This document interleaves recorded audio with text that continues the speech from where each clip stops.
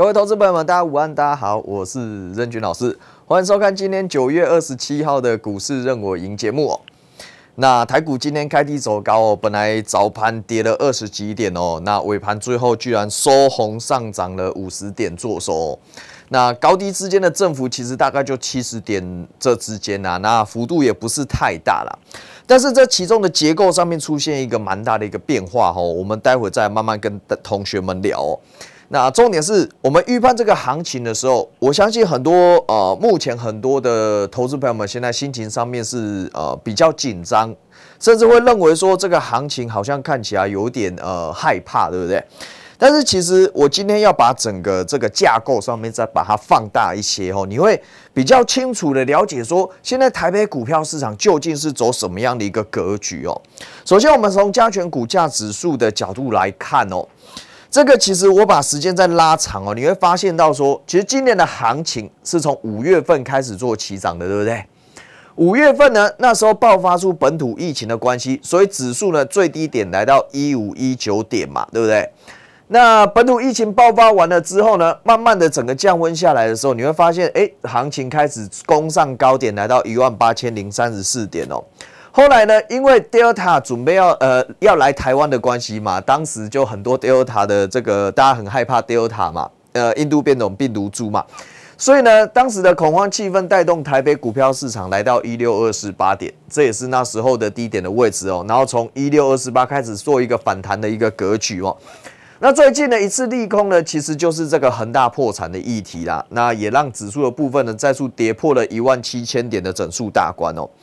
那一个多头的市场格局当中啊，其实我之前跟投资朋友们聊过吼，会有很多的利空来去做一个彻底的动作。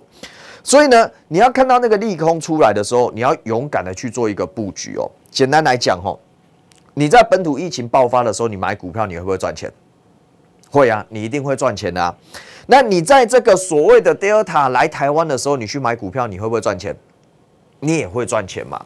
甚至说你在恒大破产的时候呢？这个议题出来的时候，你去买股票，你会不会赚钱？当然会赚钱嘛。所以呢，重点在于说，你在这个议这个所谓的这个利空当中，你的心态、你的想法是什么？那大部分的投资朋友们当然看到利空会很害怕，但是我必须要跟投资朋友们讲，其实就股市的角度而言，它长期来讲，它是一直不断的、不断的创历史新高的哦。那总共。在整个啊，整个这个股票市场，包括美国股市当中，其实出现一百多次的空头。但是你回过头去看呐，每一次空头来的时候，你敢买股票的时候，你最后都是怎样？都是大赚钱的哦。那就短线的角度而言，当然你说整个行情会因为啊这个利空结束之后马上喷出去吗？我觉得难度比较高，因为呢，我们把高点的位置点上面继续把它连起来的话，你会发现到说。其实我的高点怎样也是越来越低，对不对？我的低点呢，它越来越高，我的高点越来越低。那整个台北股票市场就形成一个三角形收敛的一个形态哦。居然呈现一个三角收敛的形态呀！呃，这种形态出现的时候，一般都会带着什么量能缩减下来。也就是说，其实台股呢，它不是一个大多头，它也不是一个大空头，它就是走一个压缩的一个形态哦。那这种形态很重要哦，因为每一次转折一旦开始出现的时候，它在那之前都会走这种量缩而且压缩的形态哦。那这种形态呢，呃，你如果看到未来啊，你要注意一件事情。第一个，我如果跌破上升趋势线啊，不用讲。整个空头的格局就正式形成，那时候我们要把手中的持股卖掉，甚至开始翻空。但是呢，如果未来走一个是直接突破这个上升趋势压力区的话，那就反过来喽。你现在手上的持股呢，当然你要抱牢以外，你还要再持续的加码去买股票，因为一旦我突破出去了，那这个高点啊。未来不但会越过，而且会过非常的多，因为这种压缩形态代表我的筹码非常非常的安定哦。那我的筹码非常安定，那我一旦突破上去，我开始往多方趋势去发展哦，那不是一个过过历史新高就可以处理的事情哦，甚至未来可能会往万九甚至两万点下去做迈进哦。所以呢，呃，投资朋友们，你们在害怕的时候，是因为你没有看到这个啊，目前整个大格局、大方向在哪边？如果假设今天跌破了这个所谓的上升趋势的下缘，那我去卖股票就好了。其实你也不用太紧张。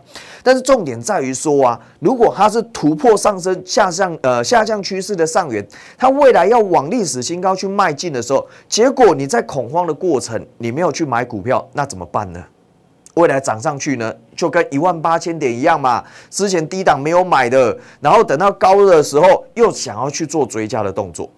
很多投资人会在股票市场里面赔钱啊，不是因为选错股票哦，而是在错误的时间点上面去买的股票，这个是最大的一个问题嘛。比如像说你万八去买股票，而且还买钢铁，还买航运，那当然最后的结果都不是太好啊。所以呢，我们在操作上面，我要先规划好行情，规划行情，掌握行情，跟随行情。不对的时候，你要怎么去做一个应变的一个动作？那我认为未来啊，去突破历史新高的机会是比较大的，因为呢，你可以发现到说，其实啊，股票市场。有钱，有人偷偷的在做进场布局的动作。简单来讲，我一直跟大家讲说，其实钱才是影响股票市场最重要的因素，对不对？股票想要买 K，有人买它就涨了，有资金在做进场布局，它股价就会上去了啦。那你都讲说很多的利多，很包括说它基本面多好啊，未来 EPS 多高啊。那个只是辅助它股价上涨的力道而已，可是真正会推升股价上涨的因素在于钱有多少。所以呢，假设你今天这档股票，你的未来基本面再好，EPS 再高，就像大力光好了，大力光它 EPS 很高啊，一年可以赚三百多块钱，可是股价为什么一路的往下破底？因为有人在卖它，它自然就破底啦，它自然就往下跌嘛。反过来，有一些 EPS 明明就没有赚钱的，比如像说汉磊的部分，它明明就赚不了几毛钱，为什么股价会创新高？因为有人在买，它就创新高了。所以呢，现在前提在于说啊，我接下来有一笔资金它要进来，那这一笔资金它要买什么？这个就是我们要去观察的一个核心哦。所以呢，我之前跟大家谈过，这个资金也很好玩哦。上一次第一波的。资金浪潮从一五一九点，你去对照一下，那时候新台币从二十八块钱涨到二十七点五元的时候，刚好就是台北股票市场的最低点，有没有觉得很神？其实我觉得很正常啦，因为外资它就这样嘛，看到一堆人在乱砍股票，他就自然把钱汇进来，来这个地方做低阶的一个动作。那同样的，上一次 Delta 病毒来的时候，有没有来台湾的时候？那时候最低点一六二四八点，你现在回头再去看哦，是不是同样复制当时的资金汇入的那个模式，一模一样嘛？所以人家在干什么？当你在大涨的时候，我不买股票，那我就休息，那我资金就会进来，够了，够用就好了，它就在里面。转嘛，轮转嘛。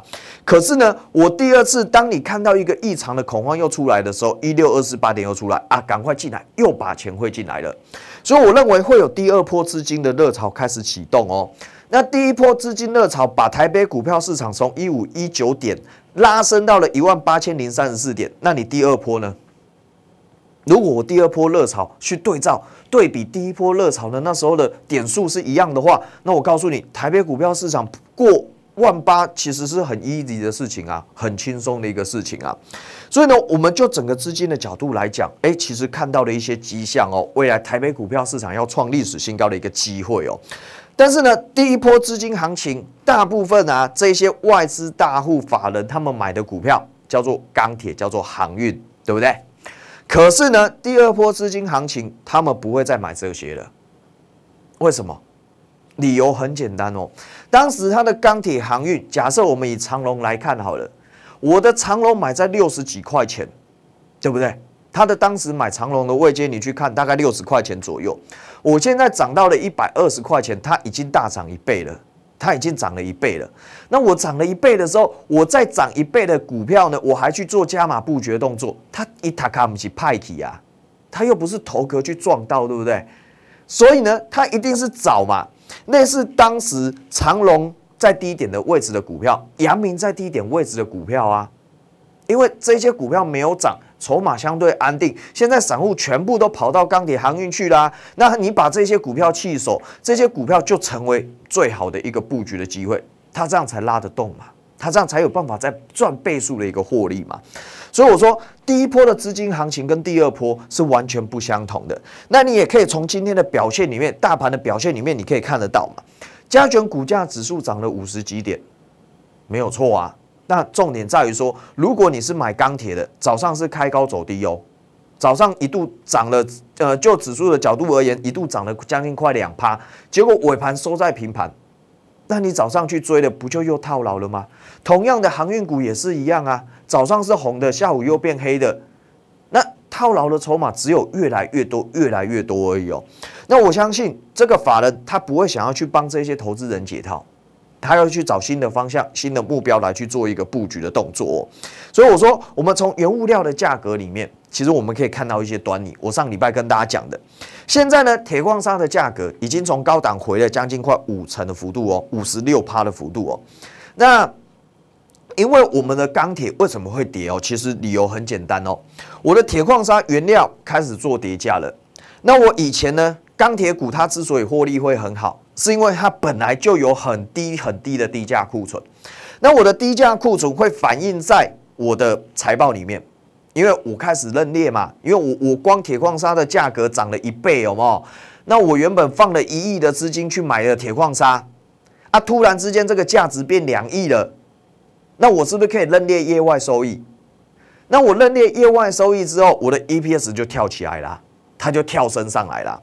可是反过来呀，那我现在呢？今年铁矿砂价格开始跌了五成，那我原本认列的获利我要干嘛？我要吐回去嘛，我要还给人家。那我在还给人家的时候，我的 EPS 就怎么样？就荡下来了，它就荡下来了。所以为什么最近钢铁股涨不动？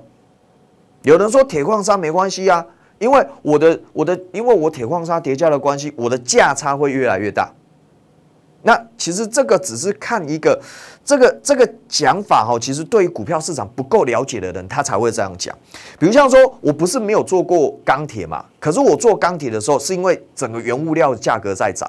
当我的原物料的价格在涨的时候啊，我的这个手上的这些啊低价库存，它才有办法帮我创造获利嘛。那不然，我的铁矿，我的这些获利是哪里来的？很多那种做那种原物料的，大部分都是做这种东西在赚钱的啊，很多都是这样啊。那可是同样的，我的原料价格在跌，对不对？虽然我现在的整个价格还没有跌下来哦，可是我原本的物料水准就是比较高嘛。那我未来我的厂商一定要跟我做一个砍价的一个动作。那我在砍价的过程，我的原物料成本又比较高，那会怎么样？毛利就会下来，所以这就是一个很重要的一个关键，这叫做一个转折的一个关键哦。所以呢，人家在讲说原物料十年的大行情，当然呢，大行情是之前不是现在哦，那个时间点已经过去了。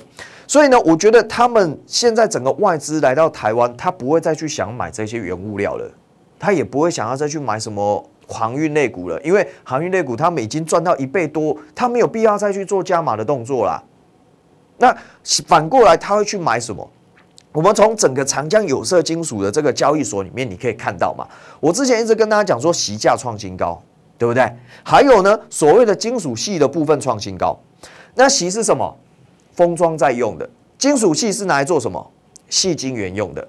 所以这两个原物料的价格它在涨价，代表说我现在整个需求就是在所谓的半导体方面嘛，包括细晶圆的部分。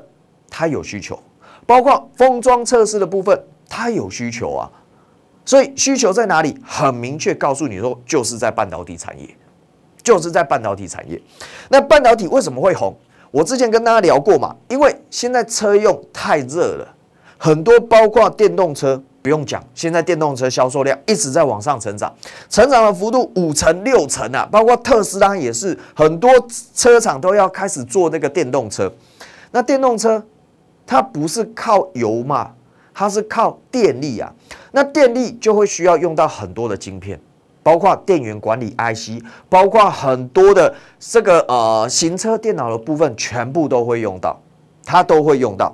所以呢，这种突然之间暴增起来的这种需求，造成整个半导体业出现一个状况，叫做供给需求失衡。所以呢，我的半导体代工价格才可以涨价啊，我的细才会涨价啊，我的封装的原料它才会涨价嘛。那重点在于啊，这个需求一旦起来，你觉得它会明天就消失吗？不会啊！我的电动车是未来十年、二十年的机会，你知道吗？当我的电动车销售量一直往上去做成长，一直往上去做成长，目前为止我都还没有看到这个转折出现啊。所以呢，整个车用电子的需求，整个半导体的需求，它会一路的往上去窜升啊。所以你现在不用觉得说，哦，我股价涨多了就是最大的利空，不是这样看的。而是说，我的产业未来的爆发性成长力到目前为止都没有改变的情况下，当然整个趋势它还是往上走。那我股价拉回，自然要站在买方来去做布局的一个动作嘛。所以我说，他们现在锁定的是一些包括车用的部分，包括这个所谓的半导体的部分。那这个是就是未来的一个很重要的一个机会。当然，也不是说完全没有危机啊。比如像说，今天都传出一个讯息嘛，大陆限电这个问题。那大陆限电问题导致说很多的 PCB 开始出现一个停产的状况。那我讲实在的哦，这个东西如果假设啦，它出现一个停产哦，未来会发生一件什么事情，你知道吗？又会开始产生一个缺货风潮了，大家又要开始抢料了，大家又要开始抢东西了。这时候呢，有一些原本有库存的。供应链，它自然手上的库存又要再开始涨价，所以呢，我觉得这种限电的问题，它只是一个短期的利空哦。那如果说你不要去用追加的方式，包括我之前讲的 CCL 部分，因为第一个首要的受灾户就是 CCL 嘛。可是你可以发现到哦，从我九月十六号当时跟大家讲的，除了台光电以外，其实每一档公司、每一家公司的股价现在都还在那个位阶之上哦，现在都还在那个位阶之上。那我认为回撤支撑。其实你要找机会来去做一个切入，来去做一个布局，但是不是乱买。我强调过了，如果你不要是用追价的方式，其实你不会受到很大的伤害，你完全不会受到呃重伤。这个就是我一直在投资上面很重要的一个理念哦。我一些股票我宁可放掉不去买它，可是呢。我也要把我的风险放在第一位，包括我会员每一个会员的风险，我都把你们放在第一位。所以呢，你会发现到老师在做的股票可能不是标股哦，可能涨个两成三成啊是正常的事情。但是呢，它不会像其他老师一样每天都涨停板的股票，因为我很坚持相信一件事情哦，做对的事情才能够才能够让你赚到真正的大钱呐。所以呢，这些个股，哎，我们看到后面。的一个趋势的发展，再来去做一个决定哦。那不管如何，至少我没有受到重伤哦。那第二个事情呢，就是在台积电的部分，因为中国限电的措施里面，其实没有限到所谓的半导体的部分哦。那呃，半导体呢，其实它会呃是目前已经是全世界的一个共通型的一个产品了，就是。不管你在中国，它也需要；不管你在欧洲，它也需要；不管你在美国，它也需要。那全世界的龙头不用讲，就是台积电的部分。台积电太强了。那台积电的强哦，不只是在它所谓的这个技术能力而已。待会我们再慢慢聊。那我说台积电，其实你可以发现到说，外资这一波回来，其实锁定的目标就是台积电。你看一下外资之前在大买，对不对？他在大买的过程当中，他突然之间给你放一个消息，比如像说这个是大摩吗？大摩突然告诉你说，晶圆代工不再短缺，最快第四季怎样就会开始砍单。可是我刚刚讲的，我们从整个中国的原物料的状况来看的话，有没有砍单的效果出来？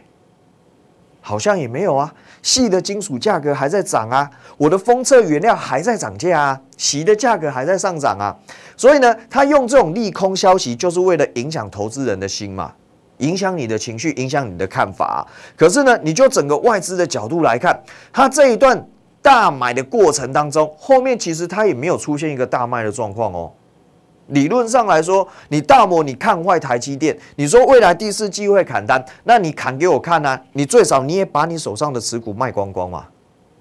他也没有大卖啊，他只是跟你稍微修正一下。最近这两天又出现连三红了啊，结果呢，哎，好像又要再突破之前的高点哦。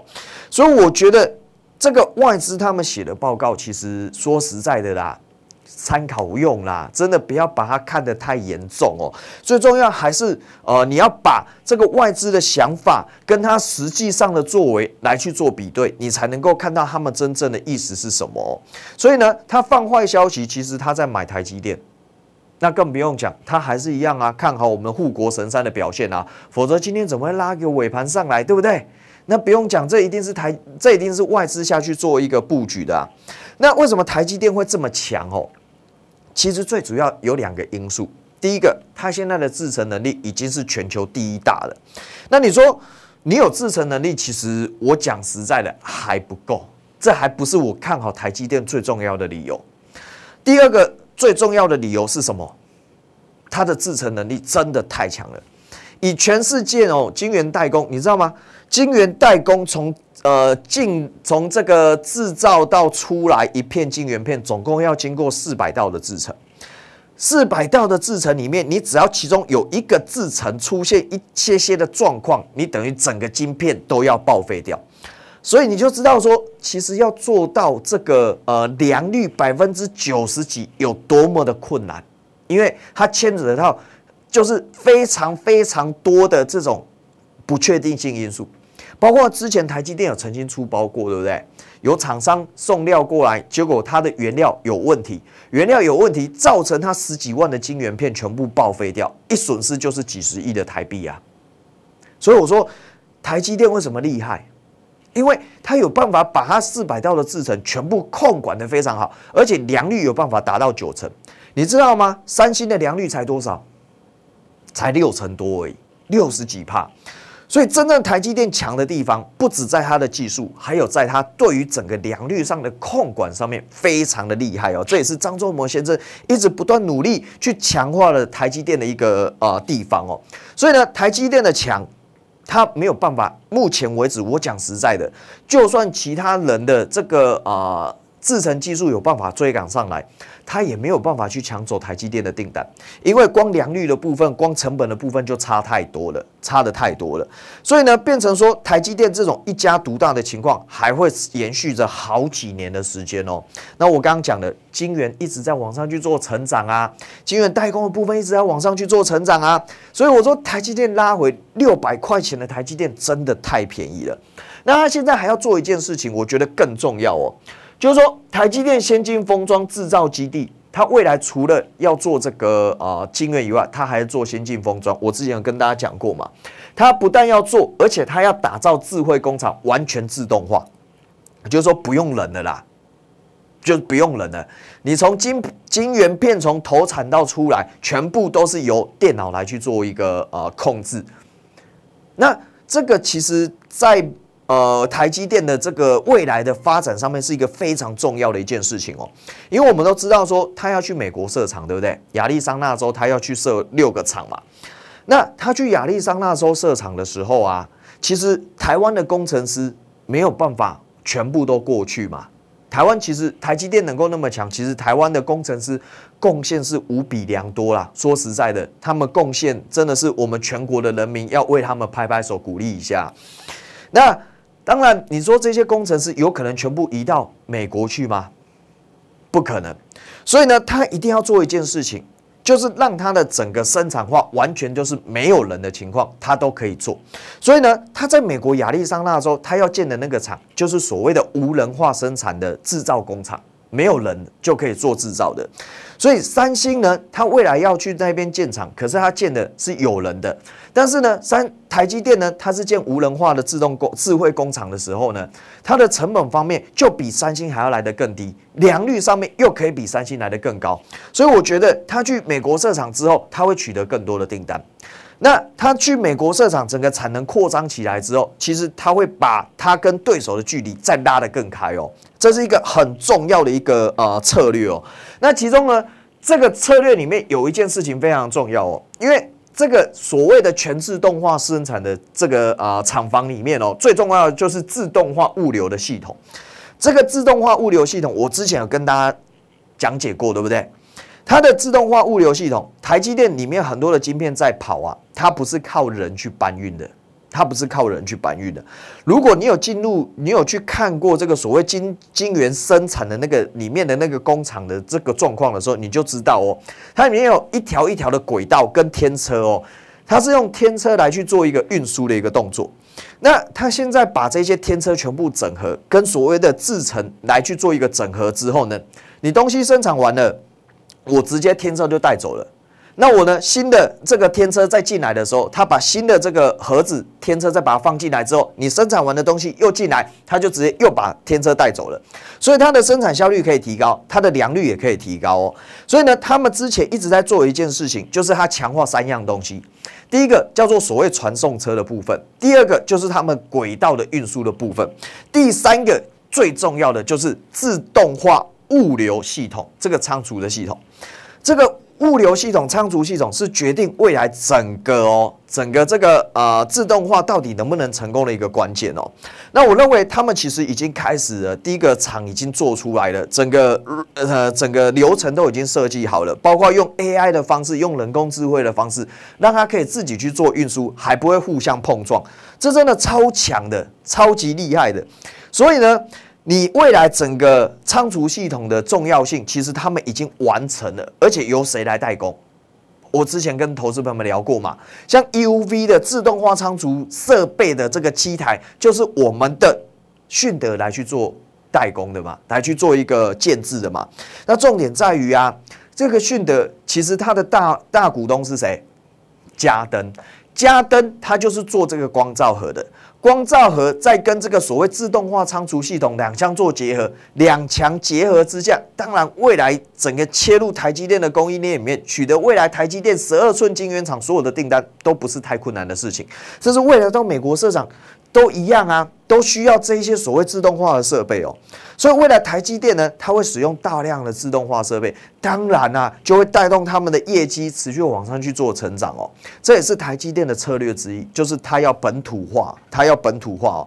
所以呢，包括迅德的部分哦，之前我跟大家聊过，这个未来自动化的仓储系统真的。蛮重要的一件事情哦，再加上说，其实以他今年的 EPS 来看啊，其实我说大概赚到九块钱不是太大的问题的。那股价呢跌到九十几块的钱的时候呢，其实你可以发现到哦，它出现了一个破底背离的一个走势哦。之前我跟大家聊过，什么叫做背离？我的股价如果过高，我的指标没有过高，叫做高档背离，对不对？那反过来呢，我的股价在创新低的时候，我的指标没有创新低。代表这个叫做破底背离，破底背离的话，代表说它其实股价已经被低估了，它股价已经被低估了。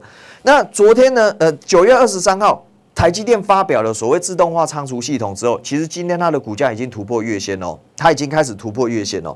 那突破月线，接下来你要看哦，扣底值的位置在这个地方，它目准备要扣底下降区间了。如果我现在扣底值往下扣底低值的时候，我的均线呢？未来就有机会从下弯转为上扬。当我开始从下弯转为上扬，诶，股价就有机会去挑战之前的高点哦。那我觉得以它的整体的获利能力来看，再加上有台积电的光环加持，它的股价来到这个位阶，真的有点太过于低估了啦，有点太便宜了。那我当然操作上面按照公式跟方法来去做一个布局的动作，这个是非常重要，不要做追价，强势股拉回站在买方来去做一个布局。第二个呢，就是在台积电的设备机台里面，包括星云的部分哦。先进封装机台，甚至它它自己开发出来的机台，其实已经都切入台积电的供应链哦。所以呢，以前它是一个代理商，可是慢慢的你会发现到说，哎，它已经开始有自己的设备呢。未来整个毛利、营收贡献方面会越来越好哦。但是呢，股价它也不是说呃乱买的哦。你要买股票不是乱买的，强势股回档站在买方哦。之前我们买在六十二块钱嘛，我说创新高了，来到七十二块钱，你不要追，拉回再买。回档的时候呢，你有没有下去做布局？今天一样再创一个波段的新高哦。所以呢，半导体的供应链其实已经越来越强，尤其是在台积电方面哦，跟台积电有关系的机会点，我觉得都还蛮大的。包括金鼎的部分，包括这个宏硕的部分哦，甚至凡讯的部分，我觉得未来都有机会。那这个都是属于半导体设备，相对来讲，半导体的这个材料更不用讲啦。以生一的股价来说，其实我觉得现在都还是很便宜。可是我们买在一百二十七块钱嘛。那生意的隆基呢？它是台积电独家供应的隆基。那未来呢？如果台积电去美国设厂，未来有六个厂诶。六个厂它要使用到大量的溶剂，你觉得生意会不会过去？如果它过去了，跟着台积电去那边设厂，开始供应六个厂的这个所谓的溶剂的话，它的 EPS 以今年预估是九块钱哦，预估是九块钱。那你想想看，之后呢？之后会不会持续的往上去做成长？所以以它现在的股价而言，我觉得并不算太贵哦，它还有一个向上成长的空间哦。可是你买股票的时候，你不能等到它创新高才追啊。打概弄安呢，我都叫你说低档的时候量缩回档，你要下去做一个布局哦。所以买卖点真的非常的重要啦。像我在买深茂的时候，它也是没涨啊，它也是没涨啊。但是我知道它是高阶风车的西高。我知道说它有切入 Space S 的供应链，所以呢，你看到说这个大量开始出来，代表说，哎，这个股票开始有人在背，有人开始做进场布局的动作，它中间有一度回档，我说回档回来，强势股拉回站在买方嘛，所以呢，今天它也是创下新高啊，来到五十七块四了嘛。那重点在于，我没有叫你去做追加，我强调过了，我说短线上面乖离过大，它一定会来做收敛，可是收敛的方式有很多种。有一种是急杀的方式做收敛，另外一种呢，在高档盘整来去做收敛。但是不管是哪一种，它要收敛，它就是会开始进入一个盘局。但是呢，如果我的初升段已经打出来了，未来会有主升段，未来会有末升段的行情。所以我认为这个上来，因为均线才刚刚转为上扬，这个只是初升段的开始而已。未来还有主升段哦，未来还有末升段的一个机会哦。